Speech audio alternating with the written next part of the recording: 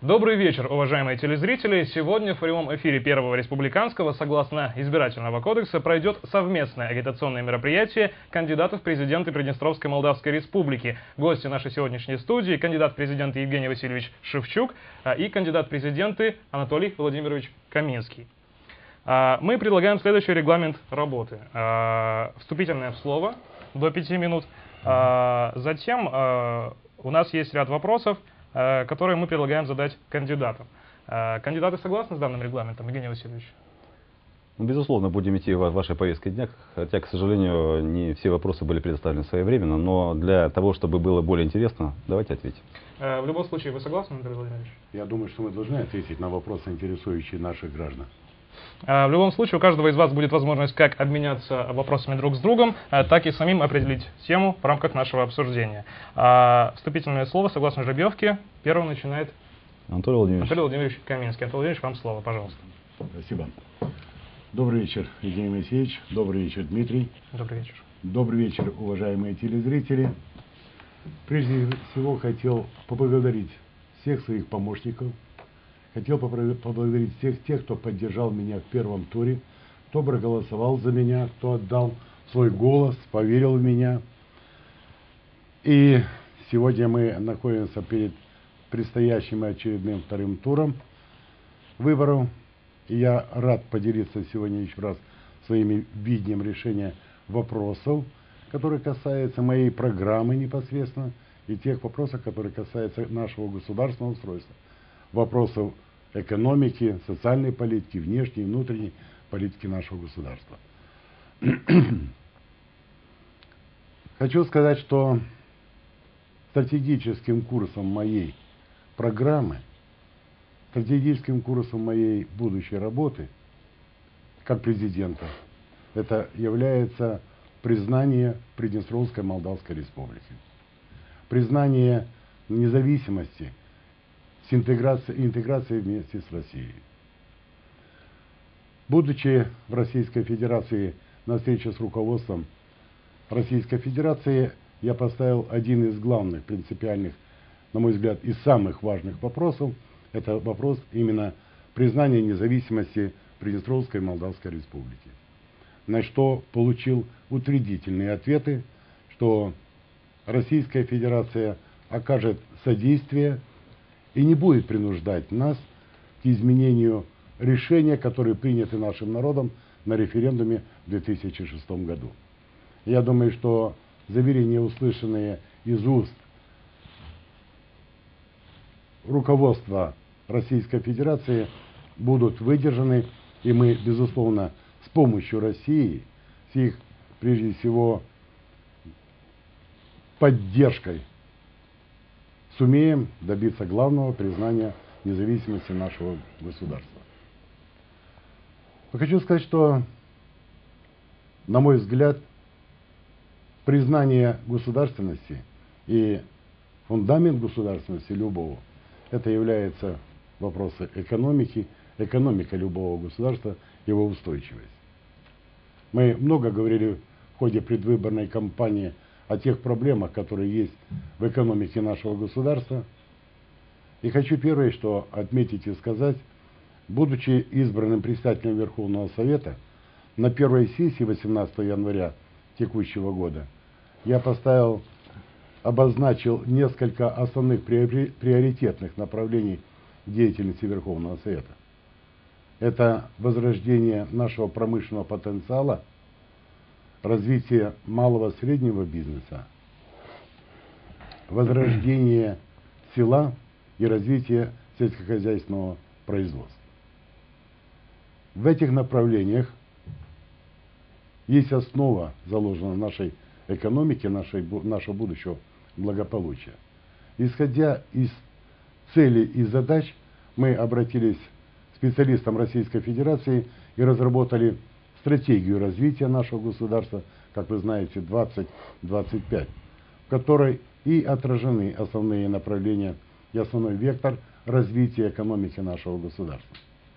И прежде всего тоже хотелось бы отметить, что мы уже приступили к реализации некоторых вопросов. Вопросов, касающихся развития малого среднего бизнеса, вопросы развития сельского хозяйства.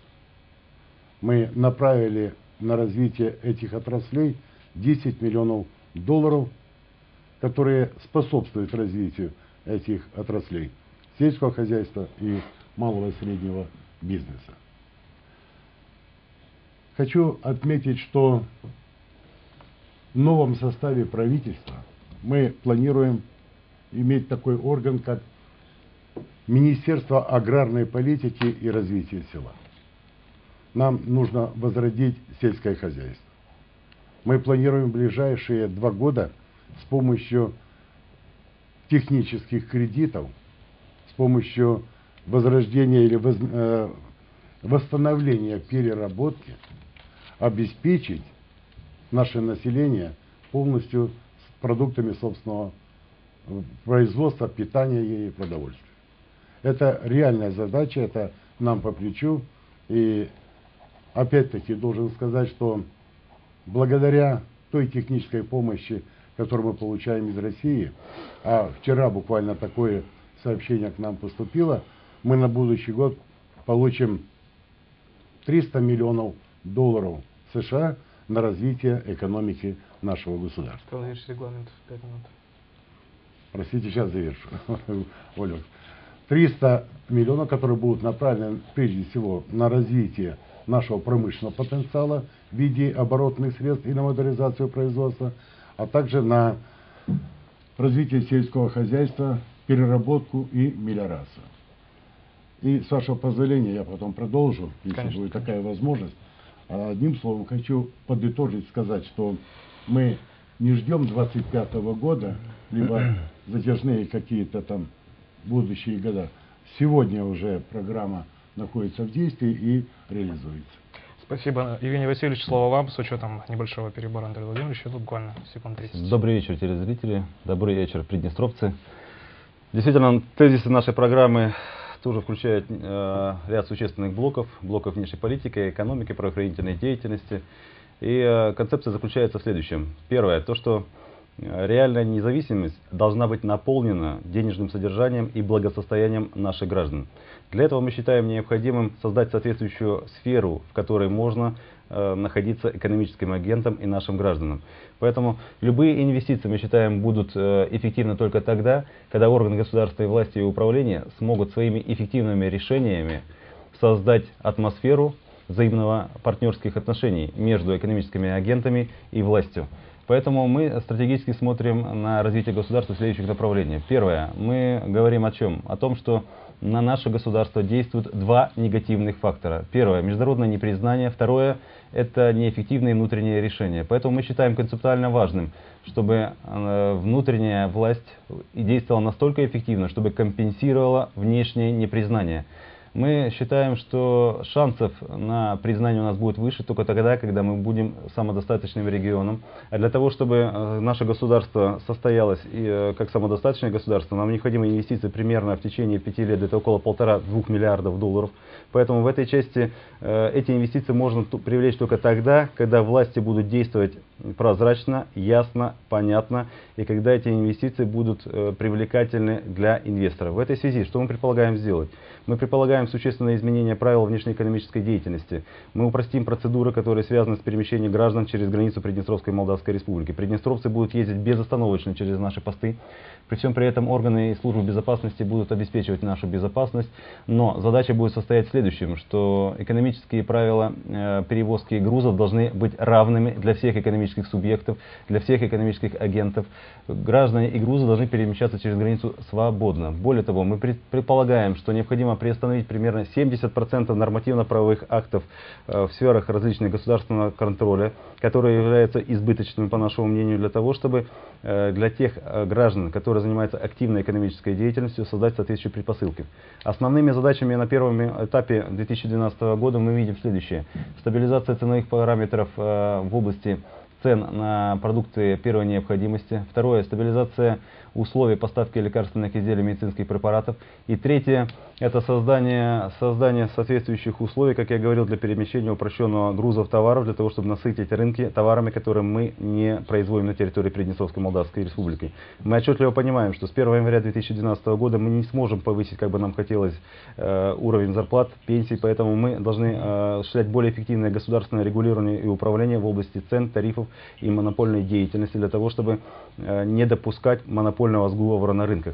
Мы считаем, что вот эти эффективные действия, которые мы планируем предпринять, должны быть фундаментом для расширения наших экономических перспектив и для расширения наших возможностей по международному признанию, потому что признать Приднестровье можно в более сжатые сроки, если власть восстановит доверие у наших граждан в первую очередь здесь, в Приднестровье, и на базе этого доверия будет реализовывать эффективные решения. Тогда потенциал нашего признания международным сообществом будет более широк, чем на сегодняшний момент. Поэтому основным концептуальным моментом являются действительно два, э, две составляющих. Это экономика и повышение, э, повышение защищенности наших граждан, общественной безопасности, борьба с преступностью. Все эти элементы должны быть задействованы для того, чтобы люди на территории Приднестровья чувствовали справедливое правление власти спасибо. Если позволите, к вопросам. Э, вопрос э, к вам обоим, уважаемые кандидаты.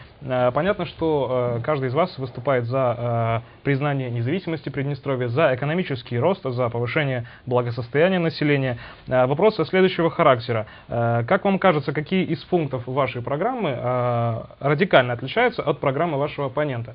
То есть мы предлагаем вам определить для телезрителя, в чем концептуальное отличие, воздержавшись от критики, если возможно, и сосредоточившись на своих плюсах. Анатолий Владимирович, вам слово.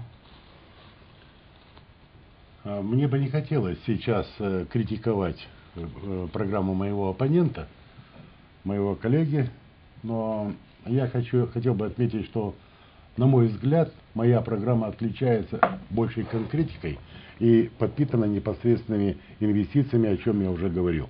Прежде всего, у нас есть стратегия 2025, о которой говорит, это э, государственная программа социально-экономического развития нашего государства и подкреплена конкретными инвестициями. Уже на будущий год мы э, направим на эти цели, как я сказал, 300 миллионов долларов. Во-первых. Во-вторых, у меня э, в моей программе есть также программа, касающаяся молодежной политики. Конкретная программа касается э, вопросов оказания содействия молодым семьям. Программа «Молодая семья», которая предусматривает 10 миллионов долларов направление на кредитование э, долгосрочно на 15-20 лет под минимальные проценты, э, молодые семьи и молодых специалистов. Это даст возможность, ну, безусловно, закреплять молодежь, это даст возможность создавать молодые семьи. Тем более, что хочу подчеркнуть, эта программа будет носить и э, такой некий аналог материнского капитала.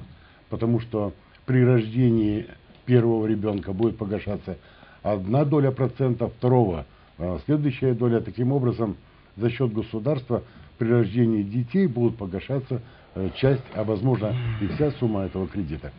А, я не услышал в программе Евгения Васильевича, кроме того, что 555 дней, где-то какой-то конкретики. Моя программа насыщена именно конкретными, так сказать, э, делами. Спасибо, Евгений Васильевич. Э, ваше слово. Ну, первое, э, что хочу сказать. Я считаю, что программы должны оценивать избиратели, это первое. Второе, они должны оценивать программу не на базе заявлений о программе, а на базе конкретных морально-нравственных качеств конкретного кандидата и его поступков, поступков, поступков в конкретной жизни. Поэтому это является основой реалистичности любой программы. Потому что можно написать любую программу, а потом э, исполнение программы споткнется на неисполнении ее. Поэтому мы э, концентрируем наше внимание э, на том, что действительно нужно создать условия для того, чтобы зарабатывать деньги здесь, для того, чтобы развивалась экономика здесь. Безусловно, мы прекрасно, отчетливо, ясно понимаем, что нам нужна будет внешняя помощь. Но мы можем эту внешнюю помощь э, получать и эффективно использовать только тогда, когда э, соответствующие программы будут реализовывать реальные конкретные люди, которые продемонстрировали свою эффективность при реализации разных рода государственных решений. Более того, я хочу сказать, что э, по нашим расчетам э, мы в течение года можем создать систему государственного управления, которая будет э, привлекательная для большего количества инвестиций. И мы нацелены на год-полтора для, э, для этого вот конкретного срока. Что еще хочу сказать, что чем, чем наша программа на мой взгляд, является более эффективным, потому что мы идем через внутренние условия для наших экономических агентов. Мы идем через повышение защищенности наших граждан, мы создаем соответствующую платформу, и эта платформа будет понятна и для наших соседей, для нашего стратегического партнера, и в России тогда будет ясно, четко понятно, что никто здесь не будет тырить деньги по карманам, а это будет являться основанием для того, чтобы расширять и взаимодействовать с нашими стратегическими партнерами, получать соответствующие, соответствующие э, пакеты экономической помощи. Та помощь, которая на сегодняшний день оказывается по линии, э, по линии, допустим, пенсионных выплат, это, конечно, важная помощь, но я хочу отметить, что столько мы ее получаем, настолько у нас увеличивается дефицит бюджета пенсионного фонда, и в частности на 30 миллионов в этом году. Поэтому э, нужно сопрягать э, разные источники, разные методы. Основной метод это, конечно, внутренние наши конкурентные преимущества для нашей экономики.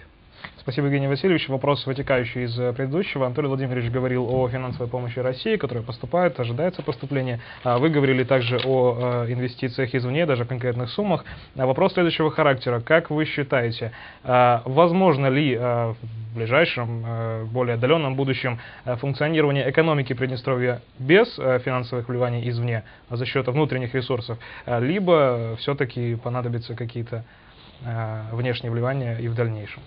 Что вы имеете в виду под влиянием внешним? Э, гуманитарную помощь, возможно, какие-то кредиты, займы и так далее. То есть э, любая форма не внутренней, э, не, не наших ресурсов, а привлечениях, привлечением извне. Понятно. Андрей Владимирович, ваша очередь, ваше слово. По-моему, я отвечал первый, я все первым начинаю. Но ну, мы вопрос. идем по порядку, да. Я э, не только считаю, так оно есть на самом деле, в том состоянии, в котором находится сегодня наша экономика, нам никак нельзя разрешить эти проблемы без внешних вливаний, без внешних инвестиций.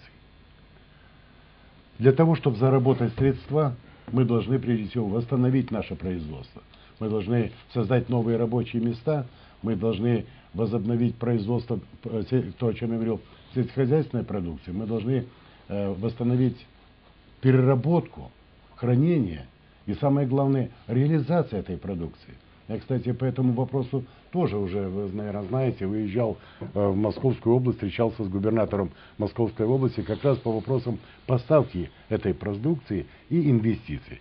По инвестициям я сказал, мы на будущий год получим эту сумму. А то, что касается поставки продукции, у меня есть договоренность с губернатором Московской области, который готовы взять нашу продукцию, причем не только сельскохозяйственную, а все, что производится у нас в нашей республике. Поэтому нам нужны инвестиции и нужен рынок сбыта, что у меня сопряжено уже в своей моей программе. Спасибо. Евгений Васильевич, как вы считаете, возможно ли э, в каком-то будущем, ближайшем, отдаленном самостоятельное развитие? Безусловно, сейчас э, в том положении, в котором находится экономика, оно находится и сегодня фактически на финансовой игле, на дотациях извне. Э, фактически 40% э, дефицита пенсионного фонда покрывается сегодня уже кредитами фактически не приднестровскими, около 30, э, около, не 30, где около 60% э, привлечений средств из недр республиканского бюджета. Это говорит о том, что действительно республика находится в сложнейшем положении, поэтому все же считаю, что какое бы положение сложное не было, необходимо создать, в первую очередь, систему государственного управления, которая будет эффективна во всех отраслях. Поэтому в этой части мы предполагаем изменение концепции подходов вообще органов государственной власти. Органы государственной власти должны отвечать за следующие критерии. Уровень занятости, уровень доходов населения. И они фактически в нашей системе предполагается, что министры э, или начальники управления, или главы государственных администраций, они будут заинтересованы и отчитываться за уровень занятости, и они будут ходить на предприятия и оказывать непосредственную помощь на местах, для того, чтобы это предприятие развивалось, увеличивало количество рабочих мест. Что касается рынка сбыта, то мы тоже предполагаем, необходимо изменить систему организации органов государственной власти, для которой бы содействовал разным экономическим агентствам э, расширение рынка сбыта. Поэтому Министерство иностранных дел получит э, вторую задачу в рамках своих функций, э, которая будет тоже приоритетна, это использовать любые переговорные форматы для того, чтобы в рамках переговоров ставить в повестку дня вопросы продвижения экономических интересов наших экономических агентов, вопросы продвижения наших товаров на внешние рынки. И в этих форматах 5 плюс 2, там плюс 3 плюс 1 есть разные страны, есть разные традиционные наши рынки. Традиционный наш рынок и с Российской Федерацией, и с Украиной, и со странами СНГ, и с дальним зарубежьем. Мы должны со всеми рынками налаживать наиболее тесное сотрудничество, взаимодействие и продвигать интересы наших экономических э, агентов. Когда у нас будет сбыт реальный э, в разных э, на разных рынках, тогда у нас будет спрос, тогда у нас будут рабочие места, тогда у нас возможны инвестиции. Вот э, в чем э, основное отличие, мы на этом э, будем концентрировать внимание при принятии соответствующих государственных решений. Спасибо. Позволите уточняющий вопрос? Да, пожалуйста. Анатолий Владимирович говорил вот о помощи конкретно Российской Федерации. Mm-hmm. Вы можете озвучить, с кем в дальнейшем мы будем сотрудничать в части вот помощи из нее? Может быть, уже сейчас есть какие-то договоренности какие-то? Безусловно, моменты? мы будем также взаимодействовать и с Российской Федерацией, потому что Российская Федерация оказывает гуманитарную помощь, насколько мне известно, с 2008 года, и этот проект экономической помощи э, на, наравне социальной, он расширяется э, и расширялся год от года, и был там проект, начинался по сельскому хозяйству, и оказывается гуманитарная помощь, э, и это уже третий год подряд. Э, безусловно, э, Россия, насколько мне известно, она готова расширить экономическую помощь, но нужна плодотворная соответствующая, соответствующая почва. Вместе с тем, хочу отметить, что у нас экономика построена таким образом, что у нас 50% рынка, фактически для наших э, предприятий, это рынок дальнего зарубежья, и 50% рынок это рынок стран СНГ. Поэтому мы, безусловно, приоритетно будем придерживаться политики развития взаимоотношений с Российской Федерацией и странами СНГ, но будем укреплять наше взаимодействие со странами дальнего зарубежья, потому что это тоже традиционные рынки для наших товаров, текстиля, металла и так далее. Поэтому э, нужно, чтобы рынок и экономика была диверсифицирована, и чтобы мы могли торговать э, со всем миром. И чем э, больше у нас таких будет возможностей, тем больше будет шансов на увеличение соответствующих рабочих мест. Спасибо большое. Следующий вопрос. В случае избрания вас, либо вас президентом а, Приднестровской Молдавской Республики, а, одним из а, первых вопросов станет формирование правительства. Вот вы, в принципе, и Анатолий Владимирович, Евгений Васильевич уже затрагивали эту тематику, в какой-то степени раскрывали, чтобы не повторять. Как вам кажется, все-таки каким должен быть по структуре этот орган и сколько времени понадобится, чтобы он действительно заработал, сделал первые шаги, вот учитывая все необходимые документы, там правовые акты, там циркуляры внутренние и так далее. Э, мы идем по порядку. Андрей Владимирович, вам слово. Ну, порядок, наверное, надо немножко менять, да? потому что я все время начинаю первым, но тем не менее, чтобы не, не прерывать. А, прежде всего хочу сказать, что структура правительства должна, безусловно, формироваться таким образом, чтобы все отрасли народного хозяйства, внутренней политики были взаимоувязаны, чтобы была общая координация в составе этого коллегиального органа управления. А будет министерство, ведомство, количество этих, это тоже ну, имеет определенное значение, но в то же время не столь значимо. Значимо и важно то, кто будет работать в этих структурах, кто будет работать в этом, в этой, в этом правительстве, кто эта команда. Я хочу сказать, что у меня есть команда специалистов, которые э, имеют опыт, э, управленческий опыт. Это я бы даже сказал, эффективные менеджеры уже управления. Есть такие коллеги у меня и в Верховном Совете, есть такие представители и в партии. Я думаю, что и в нашем народном хозяйстве сегодня заняты достаточно много профессионалов, которые тоже будут привлечены для, это, для этой работы. Угу. И как вам кажется, сколько понадобится времени, чтобы он заработал как механизм? Ну, примерно так. Для меня временной фактор сегодня абсолютно не играет роли, потому что мы готовы буквально 26 числа, на следующий день после выборов, формировать правительство и, естественно, включаться в работу. У нас нет времени для оттяжки. Время сегодня для нас уже считают, другие, ведет другой отсчет, скажем так, в обратную сторону. А нам надо остановить бег этого времени, остановить тот застой, который есть, и идти к прогрессу. Спасибо. Евгений Васильевич, тоже вопрос вам. Что касается структуры правительства, то структура правительства фактически демонстрирует и приоритеты правительства на определенный промежуток времени. Поэтому я хочу э, сказать о некоторых новых э, структурах, которые будут в составе правительства. Э, которые будут поддерживать и реализовывать конкретные приоритеты, направленные на повышение защищенности прав граждан и направленные на защиту соответствующих э, прав экономических агентов. В данной ситуации я хочу сказать, что будет новая структура, усиленная структура, антимонопольный орган, и соответствующий комитет по ценам ценообразования, потому что у нас есть проблемы с ценовым сговором на рынках товар, э, товаров и услуг э, в Приднестровье.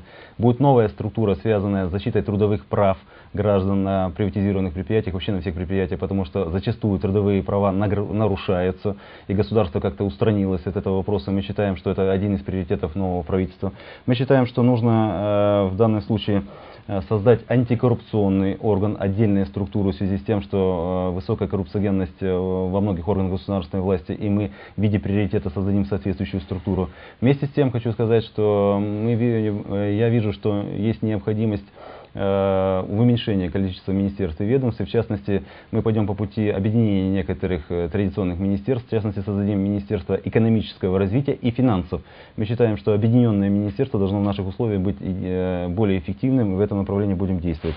Что касается других и иных министерств и ведомств, как я сказал, их будет значительно меньше, но я приоритеты определил. Что касается временных сроков, то я хочу отметить, что временные сроки оговорены законодательством Приднестровской Молдавской Республики. Президент после исправления вступает в полномочия только в течение 30 дней, производится инаугурация, потом 14 дней отводится по закону на представление премьер-министра, поэтому все это оговорено соответствующими сроками, и э, мы будем выполнять действующее законодательство при формировании правительства. Спасибо за мнение, уважаемые кандидаты. Если позволите, да, я конечно, хотел бы конечно. добавить, да. я бы хотел бы добавить, Евгений Васильевич, если вы не возражаете, вам э, хотел э, сказать следующее. Э, во многом э, то, о чем вы сейчас говорите, у нас есть структуры в сегодняшнем нашем органе управления, тоже Министерство экономики, антимонопольные органы по коррупции и так далее. К сожалению, они, может быть, бездействуют и не действуют в той форме и той части, сколько, как можно было бы им работать. А я своей программе предлагаю, э, по крайней мере, тоже некоторую, не некоторую, а определенную э, реформу системы управления.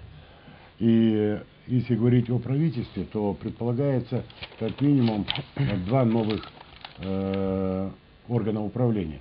Это Министерство аграрной политики и развития села и Управление по делам ветеранов и защитников.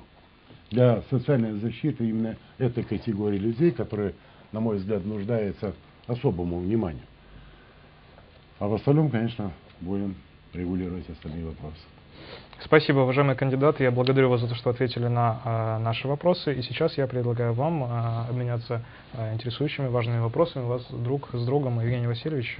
Я просто раз мой коллега уточнил некоторые моменты по структуре. Да, я скажу, конечно. что мы, мы также предусматриваем функционирование нового управления по вопросам сельского хозяйства и проблемам, проблемы связаны с инфраструктурой сельских населенных пунктов для решения определенной задачи там, с паями, которые мы э, имеем с 1997 года. И это управление также будет. Но я хотел бы отметить следующее, что в этой части э, мы выделяем структуры по комитету антимонопольного и по ценообразованию для того, чтобы продемонстрировать и приоритет, и наделив новыми полномочиями, реализовать э, в соответствии с законом в полном объеме функции, которые бы защитили средний и малый бизнес от крупных монополий.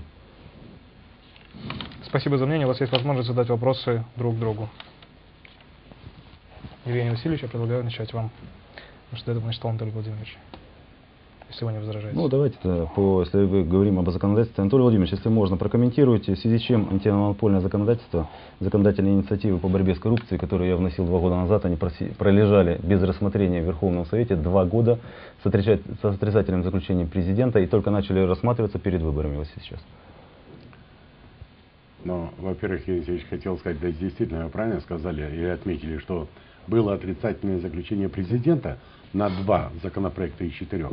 Но это не особо, наверное, имело значение для их рассмотрения. Э, я думаю, что ваша личная заинтересованность должна быть проявлена в том, чтобы эти законы были приняты. А почему они не приняты, это, наверное, вам, как автору законодательной инициативы, прежде всего вопрос. А когда президент вынес свой законодательный э, акт или проект закона, мы тогда приступили к рассмотрению, и вы сами же предложили, чтобы принять за основу законопроект, предложенный президентом. Это говорит для меня, по крайней мере, о том, что вы согласились с отрицательным заключением президента и просто не работали над теми законопроектами. Спасибо. Пожалуйста. Но я, с учетом того, что все-таки вы, на мой взгляд, даете искаженную информацию, скажу следующее, что два года законопроект находится на рассмотрении в Верховном Совете в ответственном комитете. Мое дело как депутата Верховного Совета внести соответствующую законодательную инициативу для рассмотрения. А план законодательной творческой деятельности утверждается соответствующим постановлением Верховного Совета. Я считаю, что антикоррупционное законодательство является приоритетным вопросом в реализации внутренней политики внутри государства, и в течение двух лет можно было уделить этому законопроекту соответствующее мнение. Что касается порядка рассмотрения, да, осенью э, этого года президент сам внес антикоррупционное законодательство, и при рассмотрении на комитете, которым я являюсь членом комитета по законодательству, на комитете была предложена формула исполнительным органам власти, чтобы мой законопроект отозвать, но принять э, президентский. И я пошел на встречу для того, чтобы, чтобы, э, чтобы принять законодательные нормы для более современного регулирования этих аспектов и вопросов нашей жизнедеятельности наших государственных органов власти. Владимир вас нет дополнений, пожалуйста, ваш вопрос. Я не хочу бы вступать сейчас в полемику, я сказал то, что сказал, то, что касается за, них, за это, этих законопроектов. Но э, вопрос, э, Евгений для реализации любого проекта, для реализации любого мероприятия, какое бы там ни было, тем более столь важного государственного, имеет значение, кто будет реализовывать те или иные программы, задачи, цели и преодолевать те или иные проблемы, которые есть в обществе. Меня интересует такой вопрос. Исходом вчерашнего э, рассмотрения встречи, вернее, по нашему предложению команд, меня интересует, кто будет представлять вашу команду. Потому что, на мой взгляд, вы растеряли свою команду, когда ушли из Верховного Совета и когда ушли из партии. Кто сегодня представляет вашу команду и готова ли ваша команда взять ответственность за вывод экономики из того состояния? Ну, что касается вчерашнего концерта, который устроила партия обновления, почему? Потому что э, написал э, некий там Дерун, э, написал письмо кандидату в президенты, что он хочет встретить, что он лично хочет встретиться с нашей командой без участия кандидатов. Я считаю, что как минимум по форме такие приглашения не являются серьезными и не являются основанием для обсуждения соответствующих программ командами, потому что не представлена ни повестка дня, ни обсуждаемые вопросы. Это был просто такой популистский шаг и не более. Первое. Второе, что хочу э, сказать по этому вопросу, что э, у нас есть соответствующие люди, и люди находятся в оппозиции под административным давлением и органов государственной власти и управления, и под административным некоторым давлением представительных органов власти. Поэтому в связи с тем, что демократические институты у нас Э, не функционирует эффективно, мы не называем до определенного момента наших э, людей. Но вместе с тем скажу, хочу сказать, что результаты первого тура демонстрируют то, что у нас есть команда, которая смогла обеспечить Э, победу в первом туре. Поэтому ваши тезисы, что там у вас команда, я знаю, какая у вас команда. Основная, э, основа вашей команды э, заключается в спонсоре, который каковым является, по крайней мере, являлась фирма «Шериф» и его подразделение. Поэтому вот основа вашей команды. Все остальное, это, будем говорить, такое навесное оборудование. Если позволите, Евгений Алексеевич, да. я хотел сделать следующее замечание. Пожалуйста. Не некий Дерун, а ваш коллега, депутат Верховного Совета, заместитель председателя комитета по образованию. Что касается фирмы, что касается команды, по-моему, здесь вы просто для того, чтобы перевести стрелки, об этом говорите. Вы знаете прекрасно тех же своих коллег, э, депутатов Верховного Совета, способных, э, грамотных, э, толковых, очень ответственных людей, которые готовы взять на себя ответственность. И причем здесь команда, э, компания какая-то э, или там еще кто-то. Простите, пожалуйста. Тогда вопрос вам, способные да, толковые, почему за два с половиной года не приняли никаких антикризисных мер для экономики? Способные толковые. Какие конкретно меры были приняты за последние два с половиной года, за три? Способными толковыми. Законодательный акт, название, какой результат? Э, ну, я думаю, что вы, во-первых, некорректный вопрос задаете мне. Ну, по, по существу. А, я повторяю, вы, я считаю, что вы некорректный вопрос мне задаете. Какой акт конкретно, Конечно. какой и так далее. Я хочу сказать, что, во-первых, мы работали в рамках тех антикризисных законов, и которые действовали у нас, принятые в 2008, 2000, вернее, 2009 году. Угу. Во-первых. Во-вторых, мы считаем, что та ситуация, которая сегодня складывается, и та законодательная база, которая сегодня имеется, она вполне достаточна. У нас нет источников финансирования дополнительных инвестиций, то, чем можно было бы поддержать. Но вы знаете, в каком состоянии наша экономика. И сегодня как-то регулировать законодательно эти вопросы, эти вопросы, на мой взгляд, просто нереально. При том дефиците бюджета, который у нас сегодня есть. Нам, вы знаете, сегодня практически хватает средств на заработные платы, на пенсии, и то не хватает. И другие э, э, социальные программы, которые мы финансируем на 30, 40, максимум 60 процентов. Исходя из этого и регулируем эти вопросы. То есть фактически не регулируете, потому что я возвращаюсь все, все-таки к программе 2008-2009 года, который сам инициировал. Так вот, эта программа предусматривала 6 этапов в зависимости от складывающейся экономической ситуации. Там меры не только финансового плана, там меры государственного регулирования, да. упрощающие соответствующие процедуры и оказывающие поддержку непосредственно предприятиям. Поэтому и вопрос заключался э, в чем? То, что программа э, антикризисных мер, которая была выработана еще э, в 2008 году, когда я еще находился в руководстве Верховного Совета, она дальше не имела никакого продолжения. А на мой взгляд, Верховный Совет как законодательный орган имеет э, возможность с точки зрения аналитического учета для выработки дополнительных мер, э, стимулирующих экономику даже в тех сложнейших условиях, в которых мы находимся. И не всегда это только меры финансового порядка и не, связаны, и не всегда связаны только с финансированием. Я хочу сказать, что это меры связаны с дерегулированием некоторых мер государственного контроля и надзора, это меры связаны с некоторыми таможенными вопросами, это меры связаны с наполнением продовольственными, э, продовольственными товарами. Вы говорите, что мы за два года продовольствием обеспечим страну. У нас 67% продовольственного товара сегодня ввозится на территорию Приднестровской Молдавской Республики. Даже по общетеоретическим каким-то выкладам почти 70% ввоза э, товаров нуждается в наших условиях в инвестициях только в сельское хозяйство, где-то около миллиарда долларов. Поэтому э, я и говорю о том, что есть профессиональная у вас команда, но хотелось бы увидеть за эти два года три какой-то конкретный результат конкретных принимаемых решениях. Российская Федерация это хорошо, мы им благодарны и будем укреплять и развивать сотрудничество. Нас интересует здесь грамотный профессиональный управление управленца, который в этих складывающихся условиях разрабатывает и предлагает государству и обществу соответствующие меры. А, Евгений Алексеевич, но, во-первых, вы говорите так, как будто вы не работаете Верховным Советом, в Верховном Совете и представляете какую-то коммерческую структуру. Вы являетесь депутатом Верховного Совета. И вы такое же имеете право на законодательные инициативы, как и любой другой депутат. А, не совсем так. Ну, я думаю, что именно так.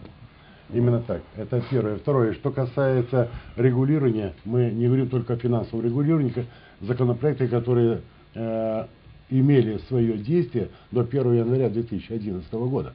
А все остальные акты, те, которые регулируют вопросы и те же антимонопольные, и таможенные, то, о чем вы говорите, они регулировались, как и регулировались и ранее. И ранее. Так что здесь э, вопрос, так говорить, насколько спорный.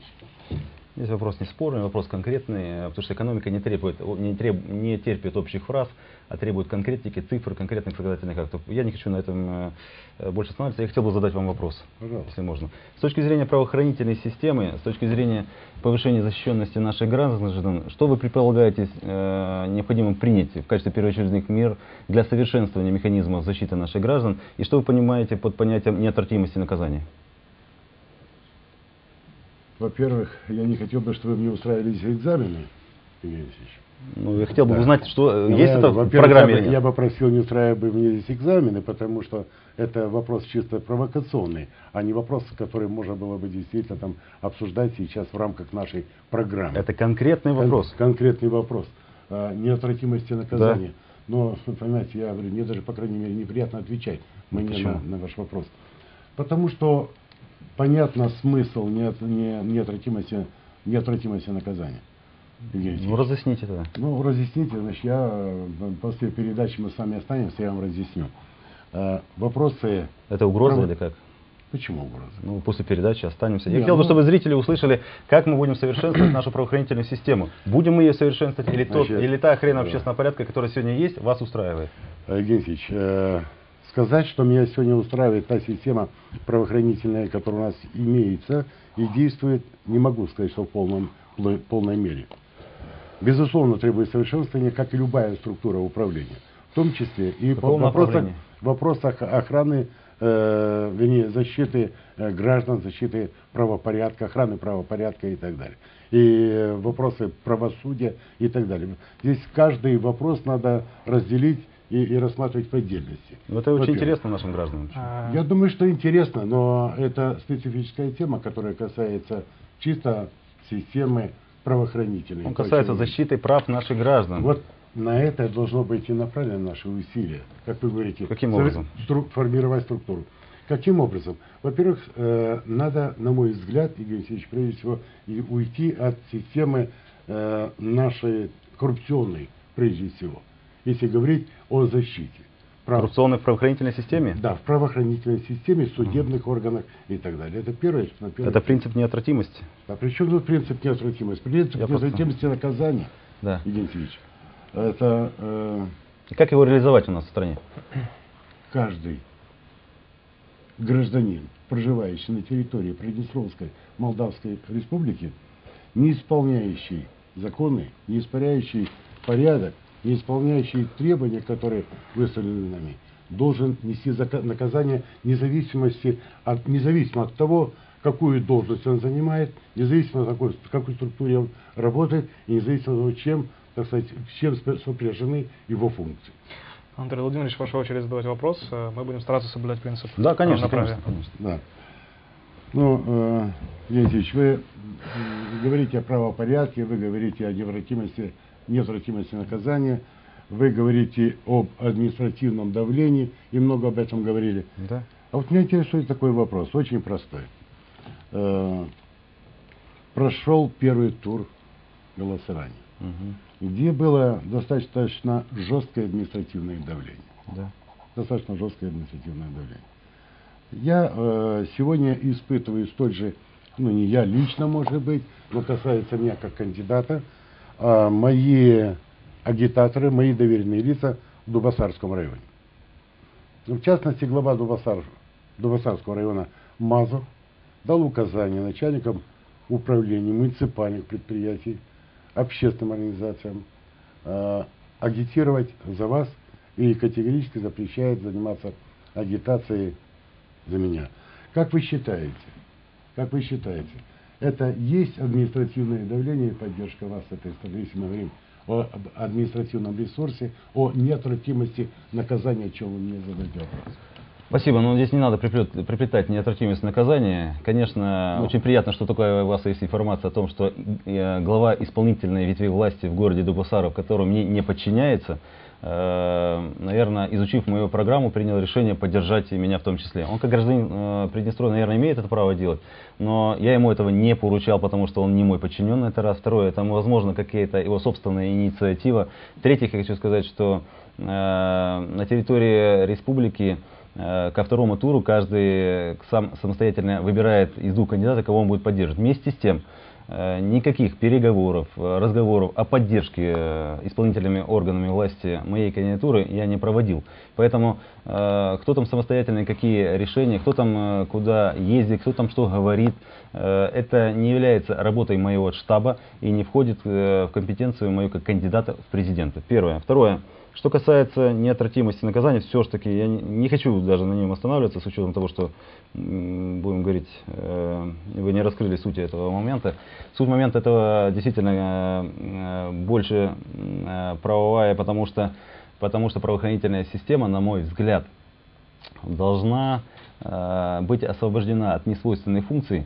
И здесь есть целый ряд аспектов, с учетом лимита времени, не буду на них останавливаться, но есть такой фильм э, «Место встречи изменить э, нельзя», и там э, главный герой одной фразой практически обобщил э, всю эту цель э, не- неотвратимости. Вор должен сидеть в тюрьме.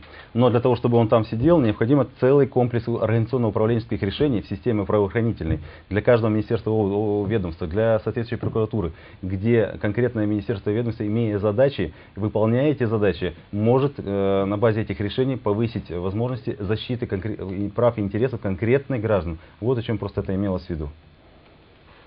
Спасибо. Следующий вопрос. Э, Вопрос еще? Я... Да, пожалуйста, я могу представить вам. если- И, пожалуйста. Э, Тогда Если э, есть возможность, тогда прокомментируйте или прокомментируйте, или изложите, даже не вопрос, просто изложите значит, конкретный перечень ваших первоочередных мер в сфере экономики в 2012 году. Просто не вопрос по деятельности, а вопрос по программе. Конкретный перечень мер. Но, Евгений я говорил уже об этом и могу повториться. Мы уже работаем и не ждем даже 2012 года. Во-первых, мы, э, повторяю, разработали программу, которую я говорил, которую я погнал стратегию. Во-вторых, мы сегодня разрабатываем программу продовольственной безопасности нашей республики. В-третьих, мы сегодня совершенствуем законодательную базу и оказываем э, финансовую помощь в развитии малого и среднего бизнеса. Мы сегодня оказываем содействие в развитии сельского хозяйства. Э, полтора... Вы или пол... Россия оказываете? Лично? Вы лично или Россия оказывает? Значит, я лично председатель Верховного Совета и как руководитель органа и как э, представитель законодательного органа, если так можно выразиться, а я думал, что не, вешать, не вешать на себя какие-то ордена, которому удалось решить вопрос финансирования и кредитования нашего сельского хозяйства. Мы так у вас уже... хорошо получается, может вы останетесь председателем Верховного Совета? А, Мы же говорим, как кандидат в президенты, что вы как президент будете делать в 2012 году конкретно в области экономики? Я вам... Вы мне рассказываете, что мы как законодатели там делаем, ну делаете. Я вам еще Хотя раз... здесь есть вопросы сомнительные. Простите, пожалуйста, во-первых, не прерывайте, Евгений Извините. Да? А да, вот так, спасибо. А во-вторых, я вам повторяю еще раз, если вам непонятно. Я говорю о том, что мы уже начали работать и не претендуя на какие-то должности ну, президентские, Могу Меры перечислить. конкретно. Мы сегодня выделили 1 миллион, 1 миллион долларов Фу. на развитие подсобных личных хозяйств. Мы сегодня выделили 7 миллионов долларов на развитие крестьянско-фермерских хозяйств. В том числе и на мелиорацию, в том числе и на выращивание овощей, фруктов и так далее. Мы выделили сегодня 3 миллиона долларов на развитие малого и среднего бизнеса. Это вся работа, которая уже сегодня заложена, начата, и она будет продолжаться и в будущем. А в будущем, Евгений Алексеевич, э, то, что касается 2012 года, не только 2012 года, а перспективы, э, все опять-таки у нас намечено. И могу, если э, опять-таки за эфир времени недостаточно. Первое, это вопросы восстановления нашего производства, насколько это возможно, промышленных предприятий промышленных предприятий. Реализация тех инвестиционных программ, которые должны были осуществить э, наши инвесторы. Второе. Э, в э, развитие переработки. Мы закладываем на будущий год проекты и уже сегодня говорим о том, что нам необходимо поставить э, перерабатывающие предприятия в сельском хозяйстве что делается уже сегодня и выполняется. Если говорить в вопросах чисто экономики. А, ну, меры какие? Реаль... Меры какие? Как понять, какие меры? Какие меры конкретные будут э, приняты правительством Приднестровской Молдавской Республики, которые будут вами сформированы в 2012 году для стабилизации ситуации в экономике? Я не думаю, что распределение полученных денег это основная функция будет правительства. Нет, я, Поэтому хотел бы, чтобы Нет. услышать конкретику. Я не знаю, какую вы конкретику хотите, хотите Но я назову тогда, если... А, ну, вы можете называть. Я не знаю, какую конкретику вы хотите услышать. Я еще раз повторяю. Жаль, просто мы используем эфирное время не для этого. А, могу повторить для вас еще раз. Нет, э, вы а, просто нет, что новое изложить. Нет, ну новые не могу новые изложить вам, потому что я повторяю, мы должны восстановить наше промышленное производство. Как? Мы должны, как, каким образом? Да. Опять-таки, хотим мы или не хотим, содействием, прежде всего, э, теми, э, той э, э, финансовой поддержкой государства, кредитами, для того, чтобы можно так было нет, работать. Нет, в бюджете. Ну нет в бюджете нет. нет я, я, я говорил о, деньгах, которые мы получаем. России. Во-первых. Ну я просто уточняю, нет, извините. Ну, все, а, все молчу. А, Страны... Я прошу прощения. Можно воды у вас где-то взять или нет? Я что-то выпил воду. Да. А то сейчас ведущего заберу. Э, Пожалуйста. Э, У нас есть, к сожалению, время у нас ограниченное эфир. У нас есть возможность задать последний вопрос. И потом, если вы не против, у нас есть э, ряд вопросов от телезрителей. Вы не будете возражать? Да не буду возражать. Тогда последний вопрос.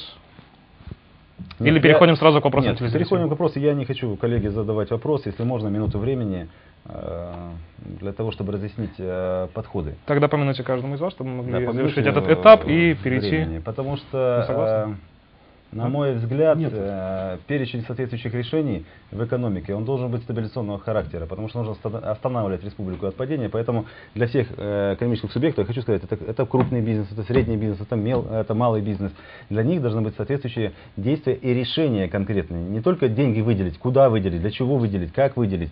И, во-первых, э, это должно быть все взаимосвязано ценами на, на энергоносители. Это все должно быть связано с рынками. Это все должно быть связано с тем, чтобы были лучшие мотивы для предприятий для актив- активизации экономической деятельности. Поэтому мы э, пойдем по соответствующей э, концепции. Коротко скажу, что э, дополнительные условия и дополнительные требования. Я говорю, это изменение правил внешнеэкономической деятельности, это уменьшение государственного контроля. Я, я коротко скажу, там целый перечень этих мер. Вот этим, возможно, наша программа и отличается от э, иных программ. Не буду говорить о вашей, говорю об- от иных э, программ, тем, что она наполнена конкретными решениями, которые мы будем принимать в 2012 году. Спасибо. Андрей И Владимирович, спасибо за воду. переходим э, к вопросам, Давайте. или вы подведете итог этого этапа наших дебатов? Мы времени располагаем еще. Ну, поджимает, Вопросы? поджимает, честно. Давайте тогда перейдем. Э, коллеги, э, если можно, вопросы от телезрителей озвучивать в студии. Здравствуйте, меня зовут Вячеслав, я живу в городе Рыбинск. У меня такой вопрос насчет программы «Молодая семья». Какие перспективы у семей, которые уже 10 лет в браке, и у них дети до 10 лет, но не имеют своего жилья и живут на съемных квартирах? Спасибо. Э, я предлагаю ответить каждому из вас. Э, Ну, прежде всего Владимирович. хотел, да, позвольте не терять время Ну, эфира, давайте. да. Да-да-да. Я прежде всего хотел сказать, что э, положение о молодой семье мы сейчас разрабатываем. Оно будет утверждено сессией Верховного Совета в январе месяце. И предположительно молодая семья будет считаться, э, если один из супругов в возрасте до 35 лет. Это один из критериев, основных критериев, который будет считаться для молодой семьи. Спасибо, Евгений Васильевич. Я коротко хочу сказать, что у нас есть э, проблемы не только с молодыми семьями, у нас есть молодыми специ- проблемы с молодыми специалистами в бюджетной среде, у нас есть очередники, инвалиды, дети-сироты и так далее. Целая категория граждан, которые нуждаются в улучшении жилищных условий или предоставлении соответствующих жилищных условий. В этой связи мы предусматриваем принятие в 2012 году соответствующего решения правительства Приднестровской Молдавской Республики по этому вопросу. У нас в стране нет ни одного строительного управления государственного. Мы хотим воссоздать государственное управление строительное на территории Приднестровской Молдавской Республики, которое будет использовать наши земельные ресурсы, песок, глину, э, нашу э, про- продукцию, цемент и металл, для того, чтобы строить такое жилье на территории Приднестровской Молдавской Республики государственным строительным управлением. И мы э, предполагаем, в соответствии с нашей программой, что такие решения будут приняты в первом полугодии 2012 года, и на, это, на, эти, на эти действия не надо будет значительных ресурсов, потому что мы будем строить жилье из собственных ресурсов, которые здесь у нас на территории Приднестровья есть. И мы сэкономим практически в два раза, квадратный метр будет дешевле, и сможем продвинуть эту задачу. Мы э, предполагаем, что более активное продвижение решения этих задач будет где-то к концу 2012-2013 году. Спасибо. Э, Спасибо, уважаемые кандидаты. Я э, в целях экономии времени, чтобы смогли больше рассказать телезрителям, я прошу отвечать конкретно на вопрос, как можно короче. Да, спасибо. Коллеги, следующий вопрос. Идет слух по всему нашему маленькому государству, что новые президенты хотят отменить льготы. Это раз. Э, Люди сейчас в шоке, не знают, это правда или нет. И второе, хотел бы ответить, чтобы они ответили. Статья «Изменение Родины» для президентства существует или нет? Вот такой вопрос. э, Последняя статья об измене Родины, я спросил, если я не ошибаюсь. Да-да. Андрей Владимирович, вы будете первым? Евгений Ну, Васильевич? вопрос. Кто, кто был прошлый первый? Я Андрей первый. Владимирович, давайте Значит, теперь с вас начнем, да. Значит, что касается льгот, мы не предусматриваем отмену соответствующих льгот, но мы предусматриваем провести экспертную оценку действующих льгот, потому что многие льготы приостанавливаются десятилетия годами, и нам необходи- необходимо навести соответствующий порядок. Нужно определиться вообще э, с перечнем льгот, какое количество этих льгот есть, не ухудшая положение соответствующих э, категорий граждан, нам необходимо рассмотреть программу. Она должна быть не минимум на три года, для того, чтобы мы переходили от э, пустого предоставления льготы соответствующим законодательным актам, наполнять эти льготы конкретными финансовыми ресурсами. Это сложно сделать, но концепция должна быть монетизации соответствующих льгот на перспективу, не ухудшающая положение тех категорий, которые на сегодняшний день пользуются льготами. Что касается измен, измена Родины, то измена Родины есть такая уголовная статья, и поэтому я и говорил э, чуть выше о том, что неотвратимость наказания должна распространяться и на президента, и на любое должностное лицо, и в отношении любых составов преступлений э, любые должностные лица должны нести соответствующую ответственность перед законом. Спасибо, Анатолий Владимирович. Ваш, ваш взгляд на проблему и на пути решения по озвученному вопросу. Э, Тот же вопрос. Тот же вопрос, да, телезритель. Вы будете отвечать? Какой? Э, о Льготах? том, что ходят слухи, что отмена льгот. А, и... да, да, да, а, да, это да, же да. вопрос. Этот же вопрос вам, да, ваше мнение. А, а, прежде всего, ну, я не предполагаю, что необходимо или надо отменять какие-то льготы. Когда принялись, принимались решения о предоставлении льгот тем или иным категориям, они наверняка были обоснованы. Я считаю, что не обоснованы. Нам надо изыскивать резерв, чтобы выполнять эти обязательства, которые мы принимали соответствующими законами. Хочу сказать, что буквально сегодня дал поручение на э, заседание президиума э, включить повестку дня на 27 декабря проект закона о социальных гарантиях э, ветеранам войны,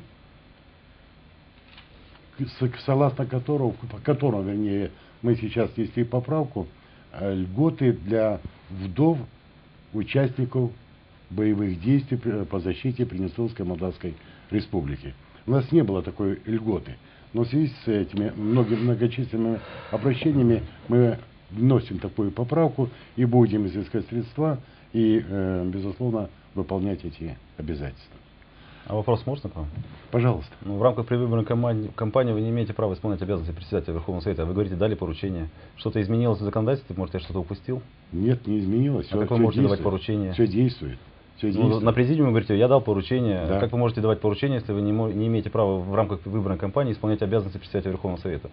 Я поручение отдал Евгений Васильевич не как председатель Верховного А как- Совета, как депутат? потому что я нахожусь в отпуске. Я как депутат, есть заместитель председателя, и вы знаете об этом И исполняет. вы даете им поручение А- как депутат? Да, и исполняет обязанности э, председателя, председателя Верховного Совета заместителя Чебан и... и- Просто это что-то новая система управления, когда депутат дает указания заместителю председателя Верховного Совета. Я просто не знал об этом, что А. новые правила приняты в Верховном Совете. Евгений Васильевич, э, вы, наверное, так же, как и я, на встречах с избирателями, наверное, слушали не один раз, когда обращались к нам вдовы, когда обращались защитники по эти, этой проблеме. И я считаю, что я имею право, как депутат, как кандидат в президенты, дать поручение заместителям, депутат президиуму, для того, чтобы они рассмотрели этот вопрос. А право принимать решения, это уже за президиумом и за Верховным Советом. И мы с вами придем во вторник на сессию, будем голосовать. Нет, это благое дело, это льгота, и вопрос просто порядка принятия решения, и он должен соответствовать соответствующим правовым нормам. Вот и все. Спасибо. И следующий вопрос. Добрый вечер, Евгений Васильевич и Анатолий Владимирович. Добрый вечер. У вас с вопросом к вам обращается Поповский Степан. Вопрос у меня наболевший для всех крестьян республики. Вот. э, В советское время земля за крестьянами была закреплена государственными актами на вечное пользование землей колхозами. Сегодня эта земля главами государственных администраций э, районов республики отдана новым землепользователям на 99 лет. Э, У людей на руках остались сертификаты, удостоверения на право пользования земельным паем, то есть той долей, которая э, была зак- э, закреплена государственными актами на вечное пользование землей колхозами. Скажите, пожалуйста, как теперь разрешить ситуацию между владельцами земельных паев и новыми землепользователями, которые уже имеют госакты на 99 лет? Как вы думаете решать эту проблему? Спасибо вам большое. Сейчас вы? Да, Андрей Владимирович, ваше Пожалуйста. слово первое. А, На встречах с избирателями я говорил, и мы обсуждали этот вопрос с э, моими коллегами, депутатами Верховного Совета, э, с членами моей команды, о которой я говорил, о том, что мы на будущий год подготовим проект закона о внесении изменений в земельный кодекс, прежде всего, по распаевке земли в целом по республике. У нас, к сожалению, не везде еще проведена распаевка, и на сегодняшний день э, распаевание земли проходило на основании указа президента. Мы понимаем проблему, которая сегодня может, может возникнуть э, в связи с тем, что многие действительно землепользователи, э, земля перешла в аренду на 49 и даже на 99 лет. Но мы должны найти то разрешение, то золотое, ту золотую серединку, то рациональное зерно, которое бы мы разделили таким образом, распаевали, вернее, землю, чтобы не обидеть, прежде всего, и пайщика, и не а, обидеть землепользователя. Почему землепользователя? Потому что многие землепользователи вложили огромные средства для того, чтобы раскорчевать многолетние насаждения, а, сады, виноградники. Многие землепользователи э, вложили большие личные средства для того, чтобы возродить землю, потому что она не обрабатывалась годами. И с учетом вот этих всех моментов мы должны найти золотую середину и э, провести распаевание по всей земле, по всей республике, во-первых. Во-вторых, мы полагаем, что должен, должен быть принят э, законодательный акт, который будет давать право на эту землю с предоставлением соответствующего нормативного акта, э, сертификата, акта, как он там будет называться, неважно, с правом наследования этой земли. И э, второй вопрос взаимоувязки с этим. Мы думаем, что надо также законодательным актом отрегулировать вопрос и о расчете за паи землепользователей, как это делается сегодня в Украине, где 10% произведенной продукции сельскохозяйственной э, возмещается пайщику. Вот эти законы, по крайней мере, надо будет вернее, эти отношения надо будет урегулировать законами. И я а думаю, в, чем что... золото... в чем золотая серединка, если можно, вот с точки зрения конкретики? А, Извините, чем, конечно. В чем золотая серединка, Евгений Алексеевич? Я повторяю. Во-первых, земля распаевана. Есть сегодня э, у ряда землепользователей, у ряда землепользователей договор аренды на 99 лет. Надо с каким-то образом этот вопрос разрешать то, о чем я сказал, что вложили большие личные средства. Вот эти моменты надо будет регулировать. Они и так и все простые.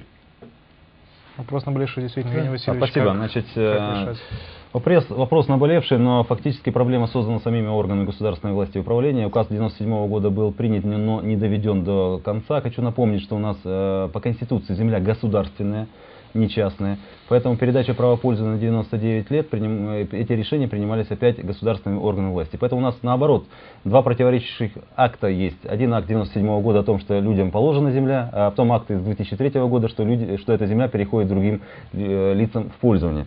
Как мы видим э, решение этой проблемы? Первое. Мы считаем, что если мы государство, и если своим людям пообещали землю, мы должны эти обязательства исполнить. Поэтому в 2012 году у нас будет тоже создано управление республиканское по вопросам АПК, которое займется реализацией и этой программы и ранее выданных государственных обязательств. В каком направлении? Первое, мы считаем, что необходимо восстановить э, все обязательства э, государства по тем лицам, которые ранее владели паями, но уже с нами их нет, в силу возраста они от нас ушли, чтобы мы могли восстановить в правах этих наследников. И в 2012 году органы государственной власти и управления должны выдать бесплатно соответствующие акты на право пользования соответствующей землей всем гражданам. Граждане в соответствии с законом должны получить право пользоваться э, этой землей в следующем порядке. Или самостоятельно обрабатывать, или объединяться в новые хозяйства для обработки, или передавать аренду на основании только письменного договора с определением конкретных взаимных обязательств сторон. Или четвертое, в случае, если он утерял связь с землей, он должен иметь право продать это право пользования государству. Вот четыре основных направления, которые должны предоставлять дополнительные возможности, и государство должно защищать э, землепользователей в этой части. Что касается крупных землепользователей, хочу отметить, что земля распаевывалась следующим образом. 25% это был государственный резерв, 75% шел на распаевание. Поэтому в каждом, каждом хозяйстве нужно решать проблемы э, персонально, потому что разные земли, разное размещение, разные пропорции. И этим должны заниматься соответствующие органы. Безусловно, с учетом того, что есть и крупные землепользователи, но крупные землепользователи тоже должны понять, что села наши умирают, остались в основном пенсионеры, и эти соответствующие э, паи являются одним из э, таких дополнительных источников э, обеспечения жизнедеятельности наших сельчан. Вот в этом направлении мы видим решение проблем в 2012 году. Спасибо. Следующий вопрос. Здравствуйте, меня зовут Людмила Юрьевна Титика. Я, мне такой вопрос. Останутся льготы семьям погибших? И будут ли новые добавлены, особенно в, в сфере медицинских услуг? И второй вопрос э, хотела бы узнать насчет завода электроаппаратного. Будут ли выплачены когда-нибудь людям, э, рабочим, э, зарплаты за два года, которые не выплачивались? Евгений Васильевич, ваша очередь. По льготам, в принципе, мы сейчас частично отметили. Но все-таки, Нет, тем не менее. льготы пог- погибшим вообще кощунственно отменять и даже рассматривать эти вопросы. э, И мы не планируем рассматривать э, этот вопрос вообще. Более того, семьи погибших ну- нуждаются в дополнительной помощи. И вот именно для определенной категории граждан нужно будет, на наш взгляд, в первом квартале 2012 года пересматривать утвержденный бюджет который э, имеет соответствующие вопросы и проблемы, для того, чтобы сформировать отдельный фонд для поддержки определенной категории граждан. В том числе э, эта категория граждан э, должна дополнительно быть профинансирована в 2012 году. Кроме этого, мы хотим профинансировать детей сирот, там и так далее, не буду на этом останавливаться. Второй вопрос. А Электроаппаратный завод, проблема с выплатой заработной платы, если ну, что касается проблемы с выплатой заработной платы на электроаппаратном заводе, то хочу сказать так, что, на мой взгляд, это не исполнение действующего законодательства, потому что по действующему закону выплаты сверх три- трех месяцев они э, должны пресекаться соответствующими правоохранительными органами, в частности прокуратурой, должны привлекаться к административной ответственности э, соответствующие руководители, не обеспечивающие своевременную выплату. Если это происходит повторно, то должны бу- возбуждаться соответствующие уголовные дела и проходить соответствующие разбирательства. Э, Почему не происходит в конкретном случае? На мой взгляд, это связано с тем, что вот именно правоохранительная система не дорабатывает где-то эффективно. Сложно сейчас говорить с учетом отсутствия дополнительных обстоятельств конкретного дела, но, ну, наверное, это так. Спасибо, Анатолий Владимирович. Э, Тот же вопрос вам. Э, Буду очень краток. Я хочу сказать, что действительно э, ни в коей мере мы не предполагаем э, сокращение каких-то льгот или, или отмену каких-то льгот, тех, которые имели, тем более, если будем говорить э, то, что касается защитников. Более того, хочу сказать, что, на мой взгляд, защитники, семьи защитников, они должны пользоваться у нас теми же льготами, э, какими льготами пользовались наши ветераны Великой Отечественной войны. Я думаю, что мы э, должны изыскать, и мы найдем такую возможность для поддержания такой категории наших э, сограждан. Что касается оплаты, я не буду повторять Евгения Васильевича, он четко определил эту тему. Безусловно, есть закон, порядок выплаты, и никто не вправе его нарушать. Э, Почему не выплачивается? Я думаю, что нам надо будет разобраться, если это зависит от нас, хотя это э, э, задачи исполнительных органов власти, а никак не относятся к Верховному Совету. Но с нашей стороны, так сказать, предприняты были соответствующие решения. Спасибо, коллега. У нас еще есть вопросы? Нет, у нас уже время, по-моему. Ну, у нас Завер- есть еще порядка 20-25 минут. заверш- Нет, час мы про- проработали. Ну, до полутора по закону можем, если мы немножко этого ничего страшного. Я предлагаю Как? завершить, завершить э, завершающим словом. И, Владимирович, вы не если нет вопросов, если нет, не- не- нет, если нет вопросов, имеется в виду. Пожалуйста, Нет, воп- пожалуйста, есть это- вопросы, значит, есть, нет нет вопросов или есть? Я так понимаю, что еще есть, но в любом случае мы сами определяем. Ну, мы работаем час, все, да? все. Мне, да, мне предвидит, что нет вопросов. Э, Заключительное слово. Прощание с избирателями. Нет вопросов больше. Нет вопросов, да? Нет, все, нет. Мы прощаемся. Я сейчас заключительным словом. Давайте вы начнете. Или вы как там? Я начинал. А я Не, ну, заканчиваю. пожалуйста. Да. Э. Хочу поблагодарить еще раз избирателей за проявленное терпение ко всем кандидатам, ко всей этой процедуре выборов. Много вокруг этого шумихи, много вокруг этого грязи, много сплетен, слухов, э, клеветы откровенной. И здесь отличились даже некоторые органы государственной власти и управления. Это все понятно, для чего делается, почему делается. Потому что, на мой взгляд, существующая политическая система органов э, власти, которая была сформирована, она не хочет перемен, и она э, защищается для того, чтобы сохранить саму систему власти, независимости, кто будет у руководства республики. Мы предполагаем в своей программе изменить систему организации власти, повысить эффективность не только исполнительных органов, но и представительных. Мы считаем, что представительных органов власти в республике избыточное количество с точки зрения наличия депутатского корпуса в том числе. При всем при этом хочу сказать, что э, очень серьезный потенциал представительных органов власти, и мы вместе объединенно должны действовать э, в направлении повышения эффективности вообще государства в целом. Я хочу еще раз э, э выразить глубокую признательность и благодарность всем моим сторонникам, э, и хочу призвать сторонников сторонников и тех, кто определился в ходе и, теперь, и сегодняшней передачи прийти 25 декабря, э, поддержать нашу программу действий, меня как кандидата. И хочу вас заверить, что мы будем развивать и укреплять наше независимое государство, кто бы что ни говорил, кто бы что ни делал. И это основной концепт э, нашей программы и наших действий. Спасибо вам огромное. Все, мне э, хотелось бы отметить следующее. Безусловно, мы отмечали и сегодня, и в предвыборной программе, в ходе в обществе накопилось достаточно огромное количество проблем, которые надо будет разрешать будущему президенту. А, ход предвыборной кампании показал действительно то состояние нашего общества, в котором мы находимся. И к большому сожалению должен сказать, что, на мой взгляд, ход самой предвыборной кампании привел к некоторому расколу в нашем обществе. Мне хотелось бы, чтобы прежде всего, проснувшись 26-го утром, мы все забыли о всей этой предвыборной суете, о всей предвыборной той, может быть, и действительно э, нетактичности по отношению друг к другу, и не только кандидатам, но и наших уважаемых коллег, избирателей, наших граждан. И верить в то, что при всех сложностях, при всех проблемах, если мы будем вместе, если мы будем едины, если мы будем дружны, мы победим и мы решим любые проблемы. Спасибо, Анатолий Владимирович, спасибо, Евгений Васильевич. Спасибо вам. А, на этом наше совместное агитационное мероприятие кандидатов в президенты Евгения Шевчука и Анатолия Каминского завершено. Мы работали в прямом эфире. Спасибо, что были с нами. Делайте ваш выбор. Спасибо огромное. Спасибо. Спасибо. Все.